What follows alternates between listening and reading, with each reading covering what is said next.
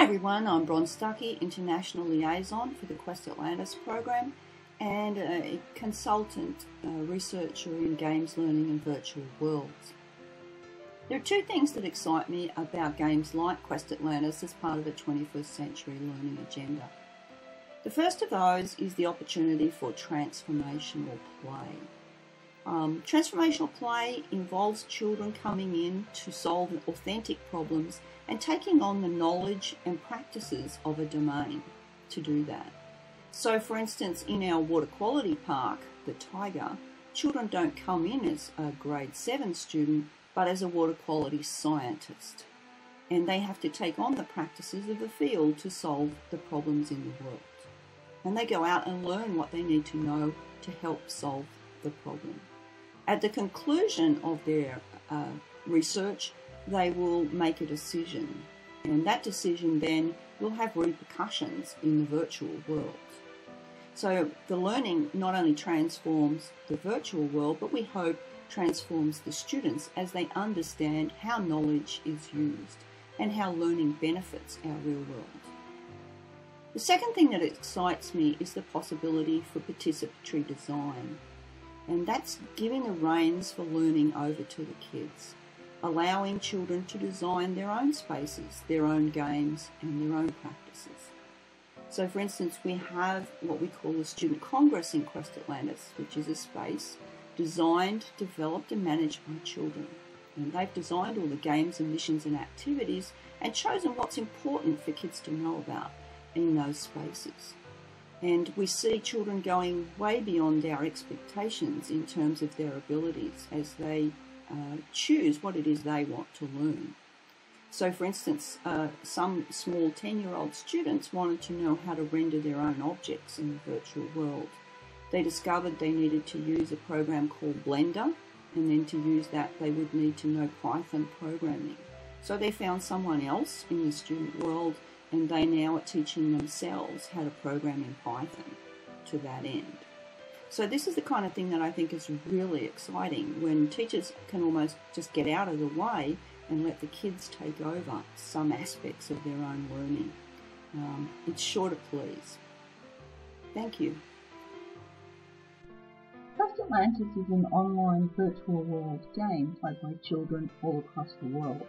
If you'd like to join this program any of the activities that you see today, you're welcome to jump, jump into our website and get yourself an educator's account and begin exploring the program. You will need to train in how to use the program and as soon as your students have leveled up uh, to the level that you're going to see today, they too will be able to join in the Student Congress activity. So loads of fun to be had um, in this totally free program for schools. So get in there and be part of it. Now let's meet some of the students who are part of our current Congress. These are our innovators, our first leaders in the program, the children who broke the ground for those that will follow. And they certainly have been having a lot of fun.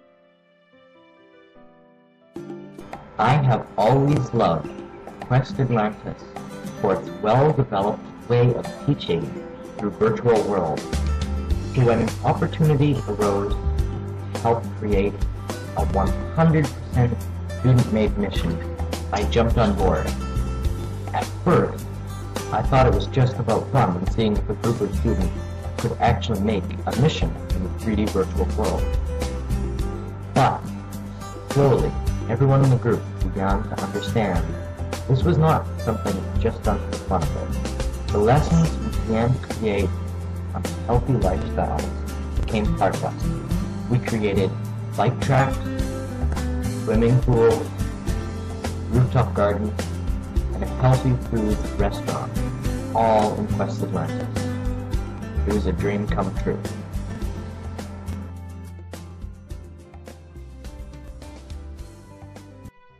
You just heard from David, one of our leaders in the Student Congress, and he's certainly been a delight to work with even though he's in Canada and I'm in Australia. David's work has also taken him to a TEDx talk where he explains other virtues he's found in Quest Atlantis. And I think you'll find his talk really exciting if you take the time to go and visit. He's representative of the caliber of kids we have in our program. And on screen now you'll see quite the amazing Karthik who worked with students in Florida to create a mission related to global warming and we'll see a little bit more of that later. Hi, I'm Team McCray71. And I'm SK71. We are brothers. We were part of a team in Student Congress. We had a lot of fun building and learning about healthy communities. We are glad we had the chance to work in Student Congress and learn how to make a mission. It was not easy, but it was a lot of fun. Thanks, Bron, and our teacher, teacher G. Holden, and Quest Atlantis for letting us do this. Hi, on Quest Atlantis, I am Team McCray71, and I am part of the Student Congress build. I enjoyed being a part of the team, and it was fun building the dance floor and learning how to make the mission. Some of the stuff I'd like to show you are the rock climbing wall and also the dance floor. We'll get to the dance floor in a minute. It's actually pretty hard to get up this climb rock climbing wall. Certain sides make it harder.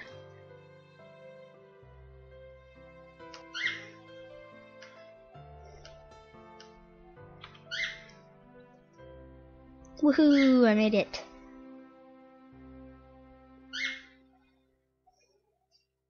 Alright, one of the other things I'd like to show you is the dance floor.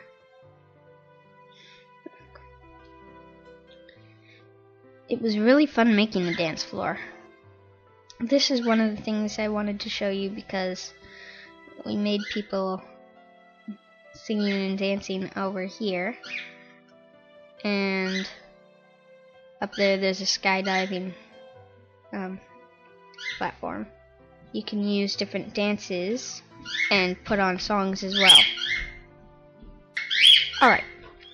Now, another thing I would like to show you is up here there's an area where you can get all the plants and food and stuff for the chef. And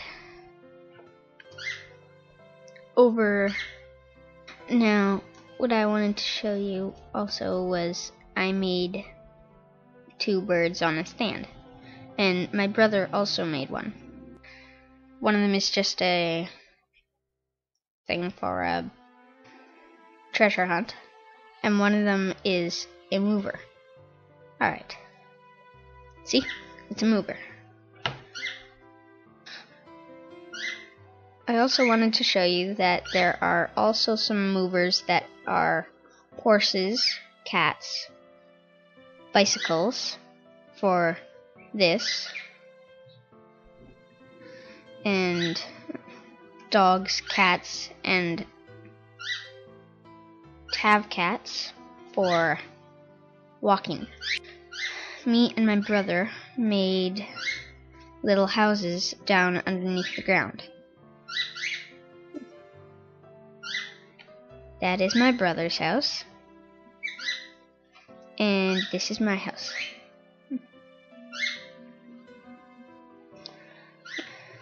And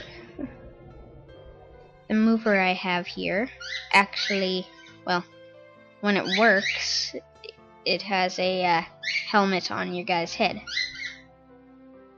But apparently it's not working that well that, right now. Oh, this one is. Oh, that's why. Gets ready. There we go. Yep, it works now. And then I've got a little up sign to make me teleport up. Or warp up. And then I can race around the world with the motorbike. I'm glad that Bron was able to get us to go in here, and I'm glad I had the opportunity to be able to do this. And if Brown's listening to this, thank you, Brown. Hello, I am SMcKay71, and I'm going to show you one of my favorite parts of the build. I worked on healthy communities. It's at the very top of the mountain.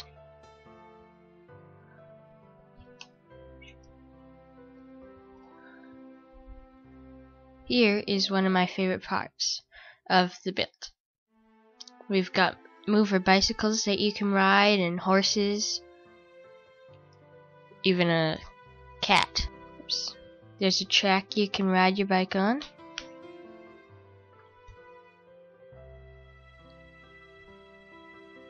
Like this. is a track there. This part I made a little bit of.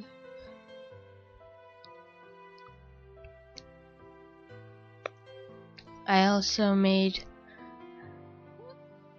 another part which there's a big sign there it's a pool and you can jump in the small end or the deep end there's a high dive board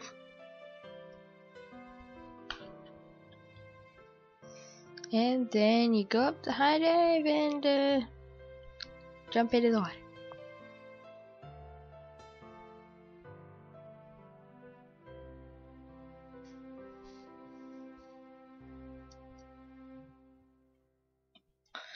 This is a uh, garden at the top of our building. And here is one of the entrances. I'll go to the front entrance to make it easy. So here's the building. I enjoyed being part of the building team. I had a lot of fun building this place with the other kids. Here's the restaurant. And there's the police officers with their dog. Zulu and Officer Rob, Officer Tiffany, Officer Isaac, and Officer Rick. And then there's a bunch of other people as well. All eating a healthy food. And then we go upstairs. It's the dance floor. The dance floor is really fun. If you click one of the buttons, these are the song buttons, and these are the dance buttons. This is my favorite dance.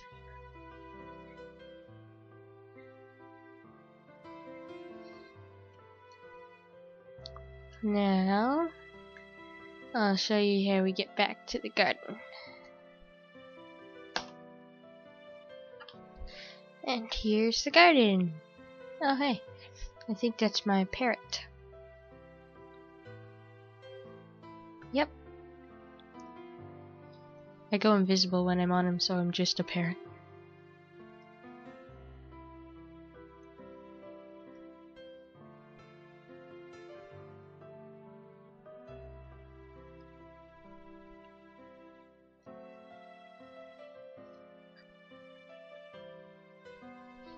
Oops. Um, I'm really glad that I'm really glad that Bron asked us to be part of the building team. We I had a lot of fun.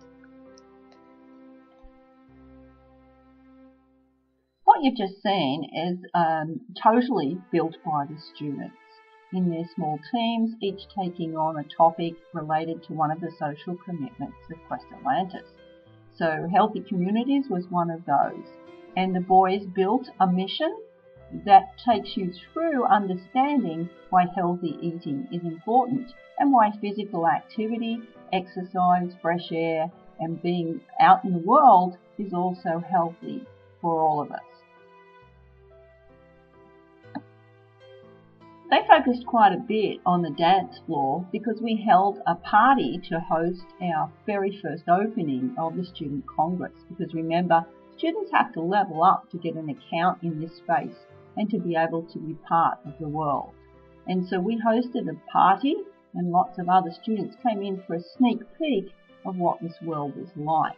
So the dance floor was pretty important in being able to jump in and um, join in lots and lots of fun activity uh, was a great hook to get other kids to want to be part of the Student Congress. Other missions were built in the world related to different topics. So, for instance, here we see the um, First Nations Medicine Wheel, which was part of a build related to diversity. And this building is a, an expo on four levels with amazing resources related to all different kinds of diversity. Then we have a world related to global warming and we learn the story of global warming through the plight of the polar bear and her cub. And so positioned in um, a, an area where we can see pollution is somewhat of a problem, children go through an exercise to learn about those problems, those issues.